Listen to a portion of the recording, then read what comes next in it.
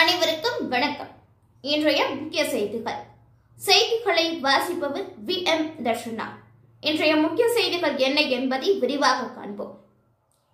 தொல்குடி வேட்டுவர் சமூக ஆவணங்கள் என்ற புத்தகத்தில் அறுபத்தி மூன்றாவது வேட்டூர் பற்றிய ஒரு சிறு செய்தி தொகுப்பை இப்பொழுது காண்போம்.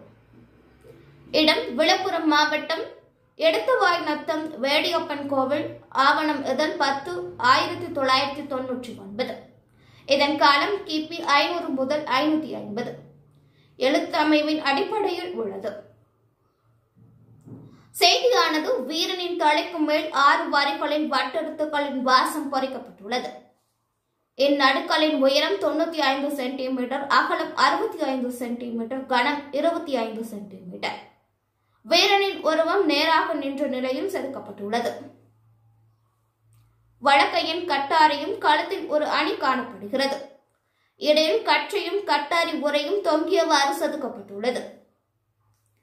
கடைவெண்மலை கோடி என்ற ஊரில் வேட்டுவ இனத்தைச் சேர்ந்த கம்பார் என்பவரின் மகன் சுவாமி என்பவர் இருவா என்ற ஊரில் அந்நிறைகளை கவர சென்ற போது ஏற்பட்ட போரில் இறந்த தகவலை தெரிவிக்கிறது.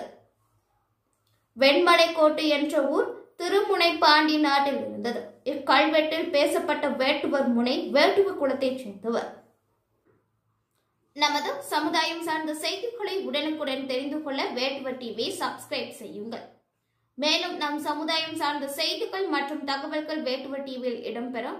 தொடர்பு கொள்ள வேண்டிய தொலைபேசி எண் ஒன்பது பூஜ்ஜியம் பூஜ்ஜியம் மூன்று ஏழு ஒன்பது ஐந்து இரண்டு நான்கு இத்துடன் இன்றைய செய்தி அறிக்கை நிறைவடைகிறது. மீண்டும் நாளை ஏழு முப்பது மணிக்கு சந்திப்போம். நன்றி வணக்கம்.